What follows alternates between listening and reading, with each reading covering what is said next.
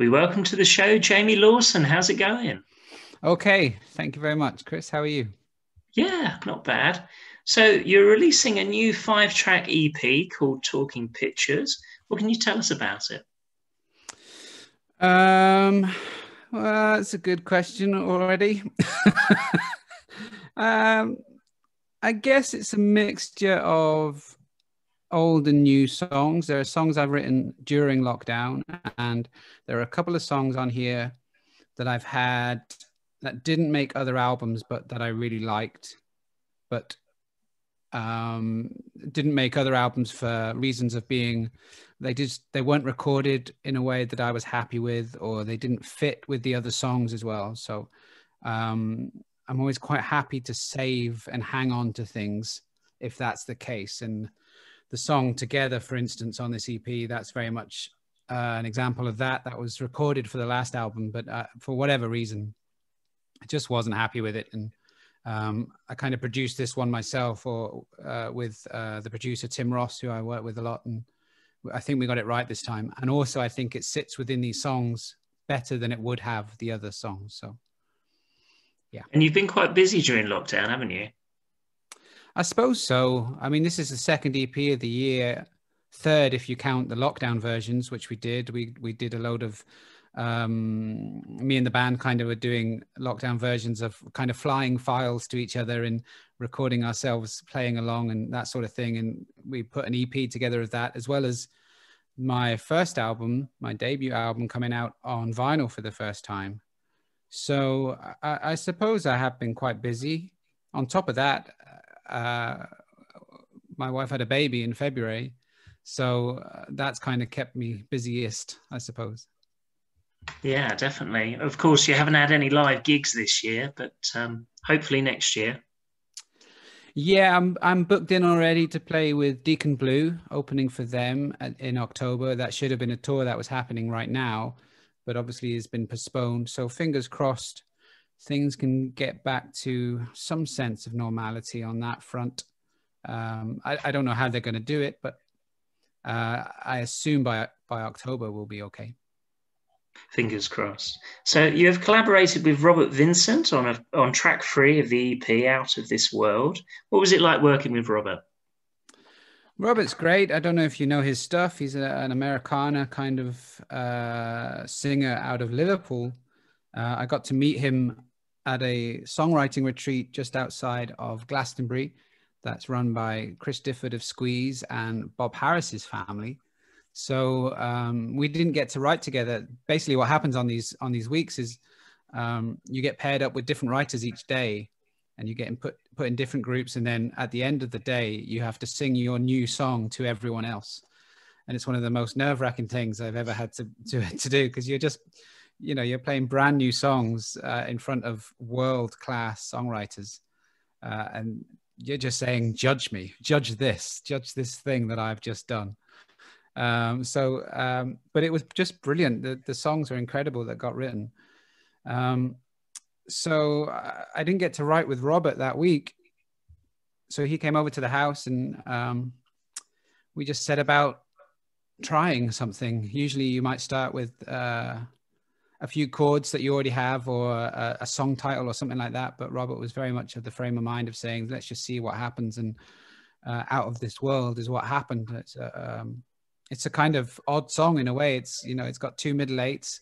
One of them has a key change. It's it's quite unusual, um, but it's it's a it's a cracking song, really. Yeah, and like you say, that must have been quite intimidating singing that for the first time.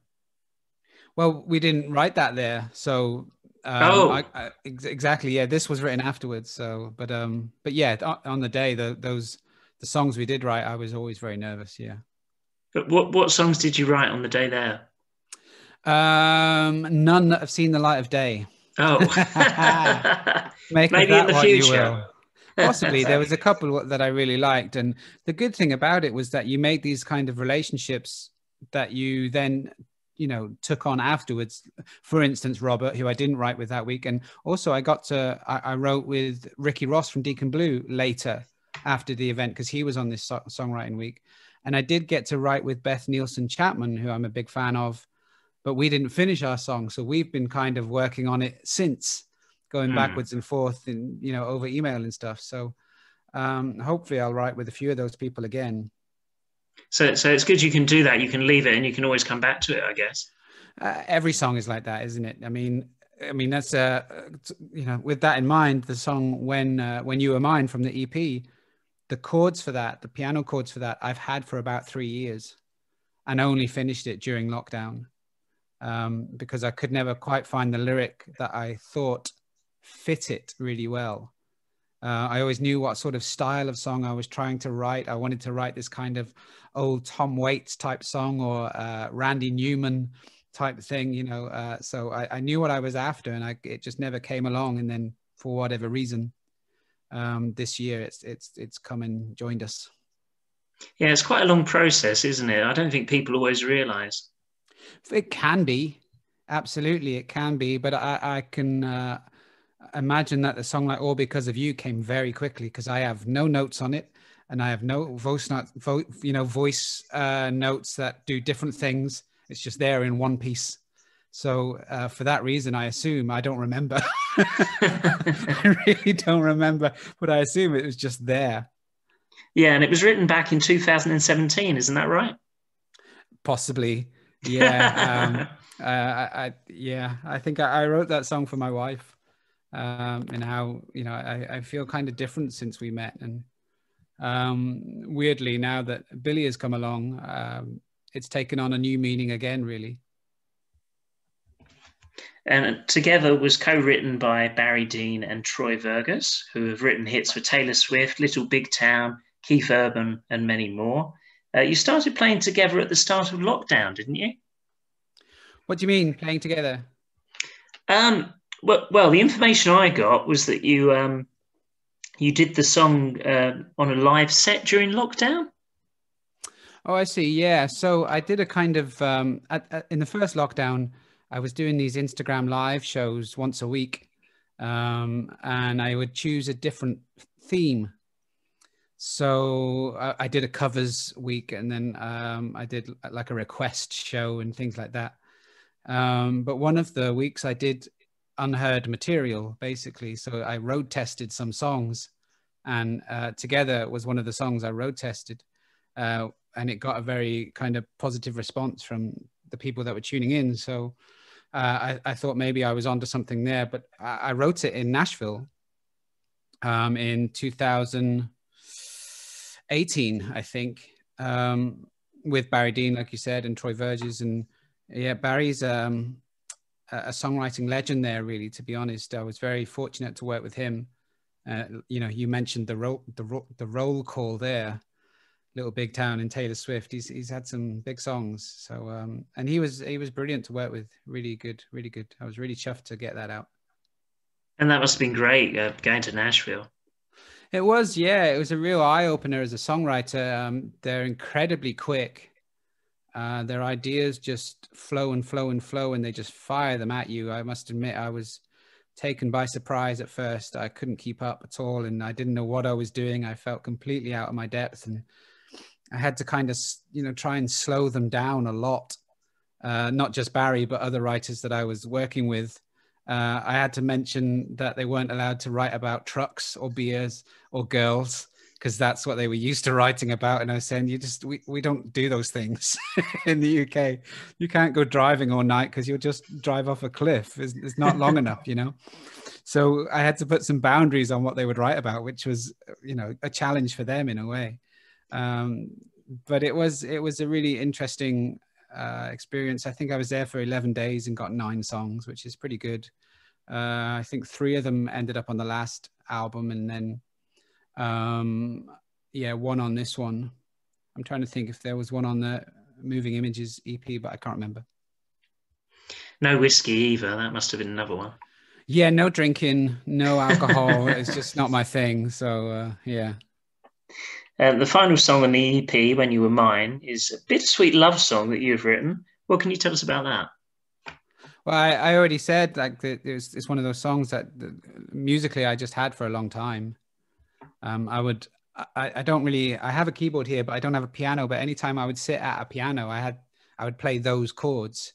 that the song kind of starts with. And um,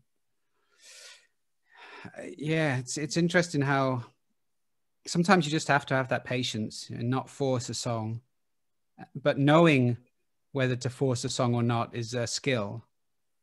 Um, because sometimes I know if I push through on this, it's going to come, it's going to come, it's going to come if I push through.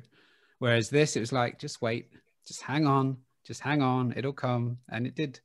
And it's odd. I don't know what that instinct is or why you would go one way or the other, but it, it's definitely there. That's interesting, isn't it? Because some people they have to lock themselves in a room to do it, or as you say, it just comes. Well, I would. I mean, I generally lock myself in a room as well. I I, I try and write, or I did most days. Uh, I, I, I don't have that uh, time now, but um, I always thought uh, you you can't just you can't just um, this will sound slightly contradictory, but you can't just wait for inspiration to come. You do have to keep working and keep working and keep working. But it's when ideas, you know, partly uh, ideas, part of the idea comes along like this with the piano and knowing that the lyric isn't ready yet. It's just those sort of things. It means you just go and write something else and you just wait your time and come back to it in a month or two and then come back to it in a month or two, you know, that kind of thing, which is the case here. And you're you're also one of Whispering Bob's All Stars to feature on the reworking of the B. King classic "Stand by Me," which is to help raise funds for help musicians. Uh, that was a bit different, wasn't it? is that good or bad? no, it's a good it's a good song. Obviously, I mean it's a classic, but I mean it's a good song. Yeah, but I mean, different for you. I get. I mean, it must be a very different situation because it's all it's all different singers, isn't it? A bit like a um, Live Aid situation. Yeah, exactly like that. I mean, at the time of being asked, I had no idea who else would be on it. It was just kind of um, very happy to have been asked, very honored to have been asked by Bob. Um, obviously, the man is a legend, so you're not really going to say no to Bob Harris. Um, yeah, I, am really glad to be a part of it. They actually even used my acoustic guitar, which I was very shocked because I only put it in to help me sing sing the song. They basically just sent out the bass line and said sing along to that, and it's like, well, I can't really do that. So um, yeah, um, it came out brilliantly. I think uh, Miles, uh, Bob's son, uh, he did a brilliant job of piecing that together and making it sound very well organic in a way considering the way it was done which is by people all over the world sending in different different files and different uh, parts you know? He's he's he made it gel very well. Yeah i, th- I think it's very good. And um, so when are you going to be you said when is the ep going to be released so the ep is released 27th of november so um soon yes tomorrow Tomorrow. Wow, that's good. So, so with the last album, uh, you you did it on a vinyl in the end, didn't you? That that that must have been good. All my albums now have come out on vinyl. All of them. Ah. Yeah, so all five. So the, the actually the the debut album was the last to, to be added to the collection. Um, so uh, I'm really chuffed. I mean, as a kid, I was a, a, record collector. It was my thing, and it was kind of all I spent my pocket money on, you know. So to have my own records, my own recordings on vinyl, it means a lot to me. Um, I'm hoping, like I've made um, at the beginning of this year, I released an EP called Moving Images, and then now I have a, an EP called Talking Pictures, and basically they're kind of A and B sides, really. That's the way I look at it. So I'm hoping that there'll be a, a, a fully formed record at some point too. Great, and it seems that artists are going back to records, aren't they? It seems, seems a lot of artists. Yeah, to vinyls. Yeah. Yeah, vinyl. I mean, I think so. Obviously, we're in a really odd position at the minute where um, obviously we can't make money out of live shows and CD sales are down, but it seems that vinyl is on the increase again, which is uh, a nice thing. Uh, I certainly prefer it as a format. I think it's a nice thing to explore, to hold, to put on, and you know, put the needle on. Um, so uh, yeah, I'm kind of glad that it's still still around. You you kind of hear an album more in its entirety, don't you, on a record? Quite possibly, yeah. You're more willing to invest the time in uh, yeah, sitting down and listening listening through it. Yeah, you're right.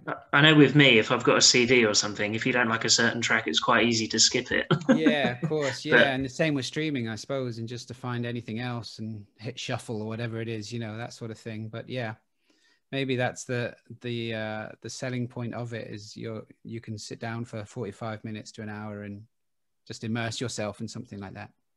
But with some songs, you can you don't like them at first necessarily. You have to listen to them eight or nine times, and and then you get it sometimes. Yeah, I mean, it's often the way, isn't it? You might buy an album for a certain song, um, you know, which starts off being your favorite and will end up being your least favorite because you found all these others and. Uh, you discover things, and then you, as you say, you you replay and you replay, and other things creep in. And uh, I, I like the slow burner as a song. You know, those are my favorites. Usually, the ones that take a while to creep in and uh, reveal themselves to you. The ones that aren't uh, um, so willing to jump on you and say, "I'm here, I'm here, I'm here." You know, I like the one that just invites you in gently. Great. Well, it's been uh, great talking to you, Jamie. Um, Thank we'll get you. a couple of your tunes on. What ones would you like us to play on the show? Oh, please, uh, if you can play out of this world, that'd be great. And if you're going to play another, then uh, why not play all because of you? Because uh, we talked about that too. So great. Thanks for joining us, Jamie. Cheers. Pleasure. No problem.